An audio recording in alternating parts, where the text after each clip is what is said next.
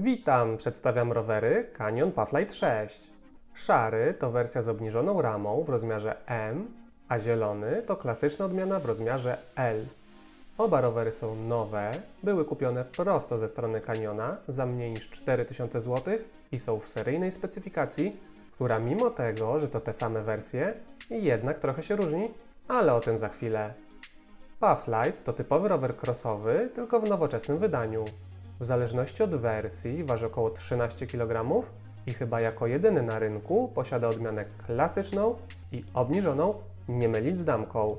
Jeśli film Ci się podoba i uznasz go za użyteczny, będę wdzięczny za lajka i subskrypcję, to bardzo pomaga w rozwoju kanału. Oczywiście Canyon ma wszystkie niezbędne cechy krosówki, jak mocowanie do bagażnika, błotników, koszyków na bidon, podpórki, ale też najnowszy 12-biegowy napęd Shimano MTB z pojedynczą zębatką na White i co miłe, wkręcany support. Powietrzny amortyzator Santor NRX o dość dużym skoku, wynoszącym 75 mm, posiada stalowe lagi i rurę sterową, która niestety jest prosta, niestożkowa. Co ciekawe, w droższej siódemce amortyzator i rama mają sztywne osie. Napęd to mix grup Deore SLX XT, ale tylko w większej wersji. W szarym Canyon prawdopodobnie przez braki magazynowe zamontował kasetę Sunrace'a na zwykły bębenek HG zamiast SLX-a na Microspline. Bezmarkową, gorzej toczącą się piastę i te dziwne hamulce. Oczywiście producent informuje na swojej stronie, że może wprowadzić takie zmiany, ale niesmak jest. Moim zdaniem to słabe zachowanie i powinno być ono zrekompensowane w innych, lepszych częściach.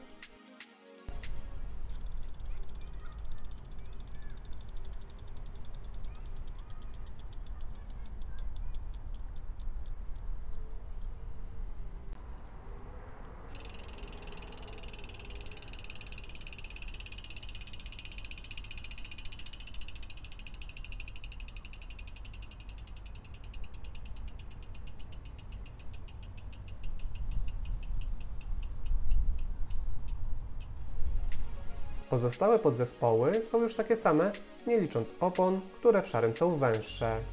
Mimo wszystko uważam, że za te 3800, które kosztował Pufflight, jest to bardzo dobrze wyposażony rower.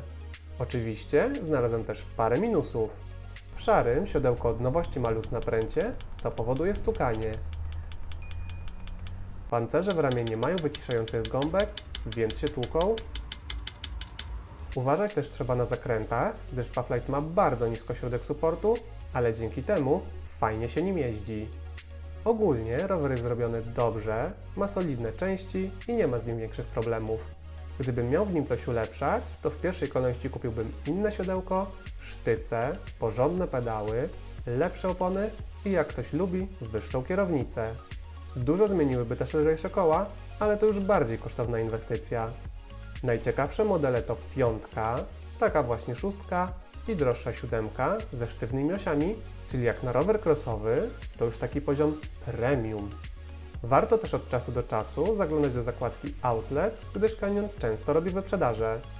Moim zdaniem jedyną sensowną konkurencją dla Pufflighta będzie Polygon Heist X5 lub X7, o których mam nadzieję niedługo nagram film, o ile uda mi się namówić przyszłą, jeszcze nie do końca zdecydowaną właścicielkę.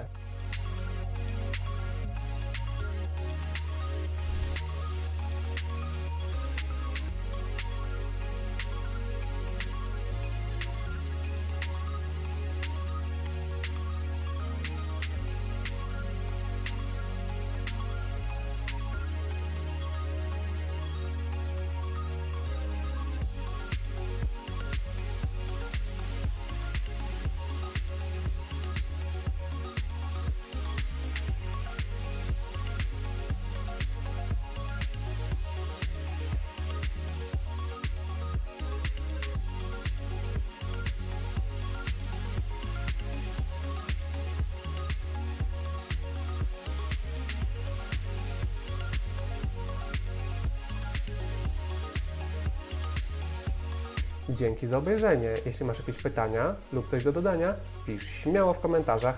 Cześć!